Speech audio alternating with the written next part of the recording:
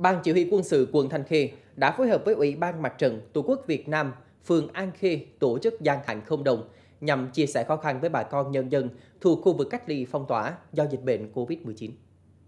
Gian hàng không đồng với hơn 100 kg rau củ quả các loại, mì tôm, trứng, các mặt hàng nhu yếu phẩm cần thiết khác với tổng số tiền 15 triệu đồng được trích từ nguồn hũ gạo vì người nghèo, heo đất vì người nghèo do cán bộ, chiến sĩ lực lượng vũ trang quận đóng góp để đảm bảo an toàn trong phòng chống dịch bệnh COVID-19. Ban Chỉ huy quân sự quận Thanh Khê đã phối hợp với Hội Phụ nữ phường, các ban ngành đoàn thể tổ chức trà soát các hộ nghèo trong khu vực bị phong tỏa, cách ly tại nhà, tiến hành thu thẻ đi chợ. Sau đó sử dụng xe ô tô chuyên dụng mua dốc hàng hóa, vận chuyển đến từng hộ gia đình.